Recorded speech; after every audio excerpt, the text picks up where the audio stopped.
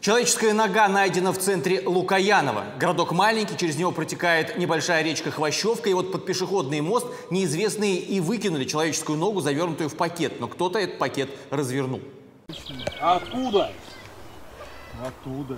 Чего же они ее не сгрызли? Ну, я шла в первый микрорайон э, и увидела то, что там вот э, в траве там, ну, под мостом, получается, э, ну, лежит нога человеческая.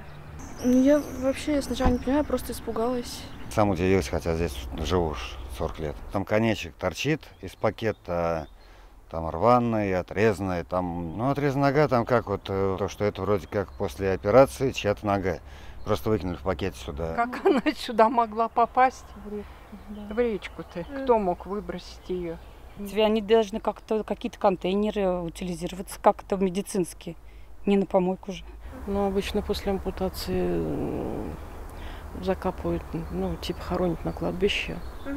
У нас у родственников такое было. Вообще так-то в больницах должно быть как-то это все скрыто. То есть зачем на улице-то? Я этого тоже не поняла.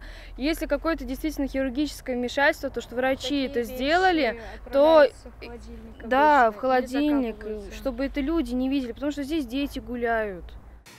В местной больнице не отрицают того, что у них есть хирургическое отделение и того, что недавно проводилась такая операция по ампутации ноги.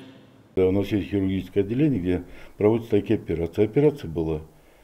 Как это получилось? Вот на данный момент там сейчас лежит пакет, и на нем фамилия.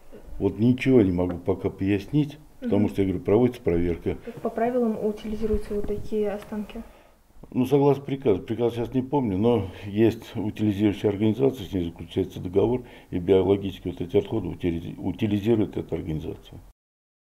Как сообщили в больнице, там проводится внутренняя проверка, чтобы понять, каким образом отрезанная нога оказалась под мостом практически в центре города. В Следственном комитете сообщили, что в их ведомстве проверка проводиться не будет, так как происхождение этих человеческих остатков явно не криминальное.